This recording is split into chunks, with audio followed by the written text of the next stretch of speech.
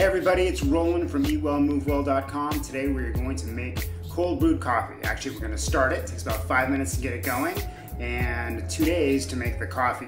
You're going to enjoy it though, it's worth the wait. Alright, let's get started. Today I'm using uh, Trader Joe's Bali Blue Moon coffee, but you can use anything you like. Got the ingredients right there.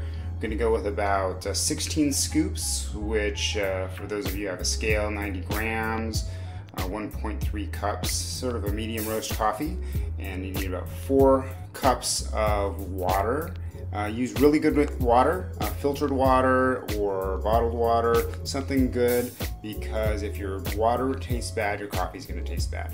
When you grind your coffee, grind it pretty coarsely even more coarsely than you would with a French press. Um, for normally I would grind coffee, you know, 20 sec, 15, 20 seconds. I did, only did this like five or six seconds to keep it pretty, uh, pretty uh, coarse.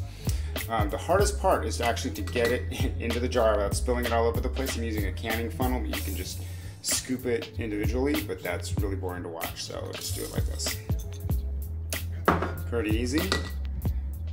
And then we're going to add some water. See how it sort of floats up there? So take a spoon just to get it wet so it'll sink down. Makes this nice little sludge. Big deal. That. And add more water. Put the lid on it. Stick it in the fridge 24 48 hours later, um, depending on how strong you like it you are good to go. See you in a minute. Hey, I am back. It's 48 hours for me, only a few seconds for you. We're to take the cold brew coffee. It's been sitting in the fridge for 48 hours. Get of that lid. Now, you don't want to put it straight into the filter because there's too much sediment, too much, too many grounds. So first we're going to take just a regular old sort of kitchen strainer. You could use a colander, anything that goes over a bowl.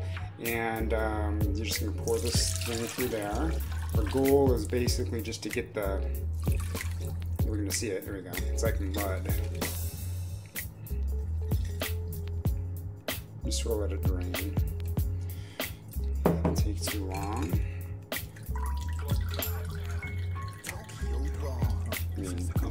That's it. That's it. Just let it go. Off to the side. Now, you're going to take your filter. Goes in here, right? And take your strained coffee, and now we're going to actually filter it into a clean jar. See, it's going. Uh, there's still quite a bit of stuff in here, and it's a lot of coffee, so it's going to take a couple of minutes. So just give it some time, let it go, and uh, be right back. All right, we are here with the end result. We've got the cold brew concentrate in the jar, ready for the lid to stick in the fridge. Should last you about a week unless you drink it faster than that.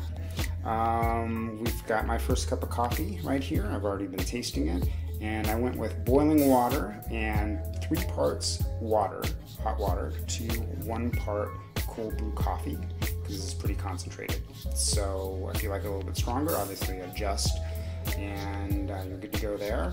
If you are using iced coffee, if you're having iced coffee, I would recommend either doing it straight over ice, it's sort of a very mild espresso taste, or you can do uh, one to one, or even if you like it you already like it watered down a little bit more, um, go to go two to one or yeah two to one.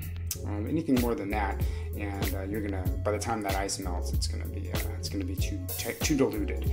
But it's pretty good, and uh, I think you're gonna like it. It's a great, easy way to make uh, very refreshing iced coffee, and also it's a, a real nice way to have a, a real smooth cup of coffee. Um, ready to go anytime you want. All you gotta do is boil water. See ya.